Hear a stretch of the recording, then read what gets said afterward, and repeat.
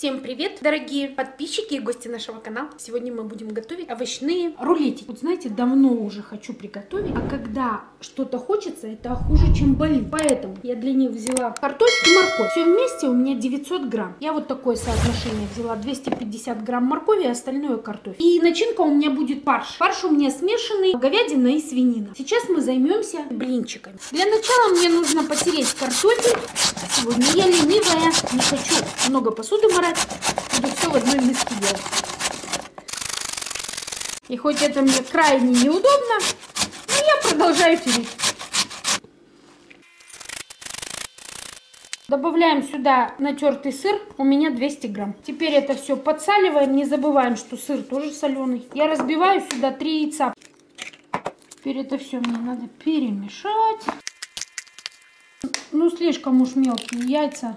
Еще добавлю сюда 2 яйца. Еще раз хорошо промешаю. Сейчас добавлю муку. Вот раз ложку взяла и два полную с горой. Еще ложечку муки. Так, теперь буду пытаться состряпать из этого блин. Поставила сковороду. Немножко надо смазать маслицем.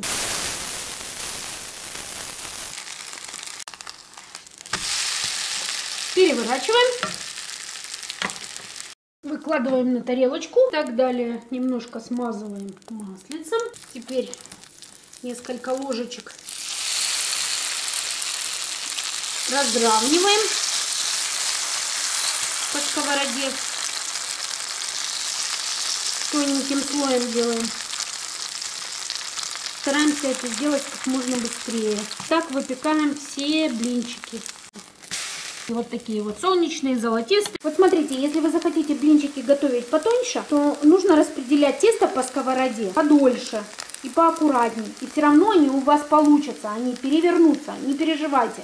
Если что-то будет не получаться, ну добавьте в конце концов сыра или там яйцо еще одно. Ну, в общем, смотрите, все, все снимается. Видите, какие они у меня получаются? Я пеку последний блинчик.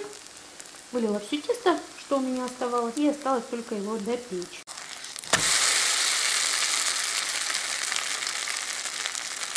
Раз, два, три, четыре, пять, шесть, семь штучек получилось. Ну, всякие толстые, тонкие, всякие разные. И это еще не конец. Теперь продолжаем готовить. Вот тут у меня, как я уже говорила, килограмм фарша. И вот луковица у меня 200 грамм.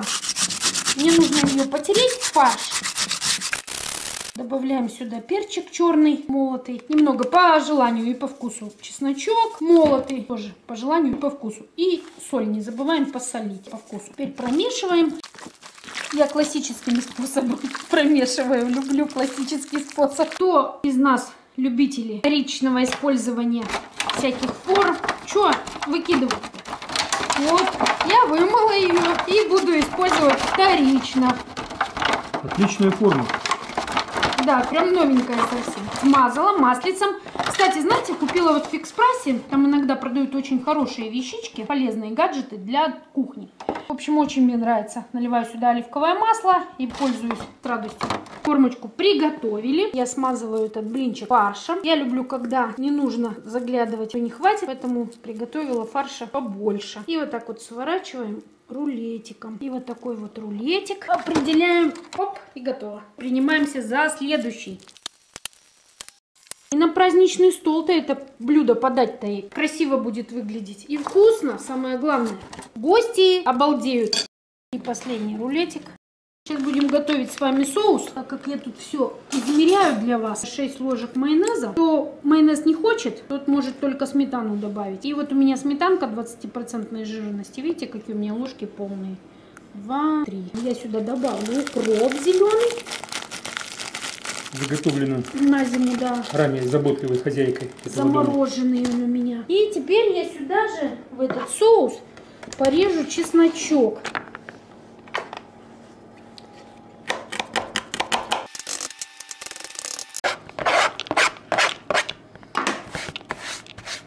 Теперь все промешиваем.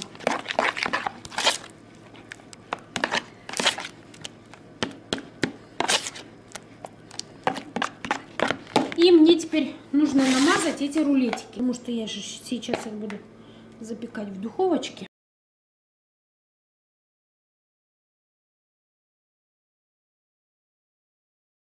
Есть для удобства кисточка. Тоже купленная в фикс прайсе из мраморной коллекции. Очень мне она нравится. Удобная.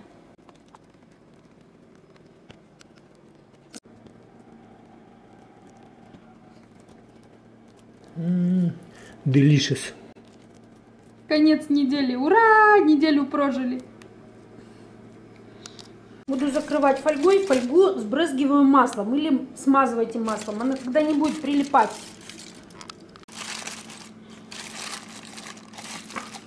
Проткнула тут отверстие. Сколько с Ларисой живу, и всегда удивляюсь ее изобретательности. Чумить как выдумает. Итак, я разогрела духовку до 200 градусов. И сейчас ставлю минут на 35. Потом достану, уберу фольгу. Потом все посмотрите. Натираем сыр, только не жалко. Прошло 35 минут. Не забываем, что когда открываем фольгу, тут все парит. М-м, вкусно пахнет. И ставим опять в разогретую духовку. Безусловно, нужно, нужны гости. Выезжайте. Казахстан, о, что там, Украина, США, Германия. Ждем вас. Здесь уже все подрумянилось, сыр расплавился. Все готово, здесь тоже все зарумянилось. Смотрите, какая корочка румяненькая, прям сыр расплавился. М, Теперь осталось э, немного остудить, хотя уже в этом можно кушать. И садиться ужинать. Не забывайте, пожалуйста, оставить любой комментарий. Хоть даже вы буквочку поставите и то. Я пойму, что вы были у нас на канале. Спасибо вам за это.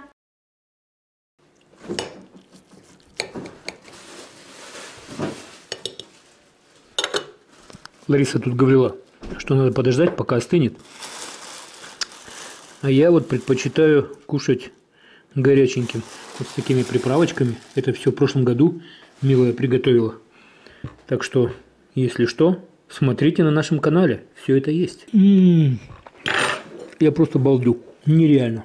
Смотрите, как это в разрезе. Это невероятно вкусно. Обязательно попробуйте приготовить. Вам понравится. Я со всеми прощаюсь. Всем желаю отличнейших выходных, отличных вкусных выходных. Всем пока-пока. Увидимся в следующем ролике. Пока-пока. А это послесловие. Девочки, мальчики, кто будет смотреть, у нас на канале есть видео «Кабачки как Грузия». Заготовки на зиму. Тоже приготовьте. Очень вкусно. Сочетается хорошо. Вкус. И вот это вот острая джика. Это вообще супер.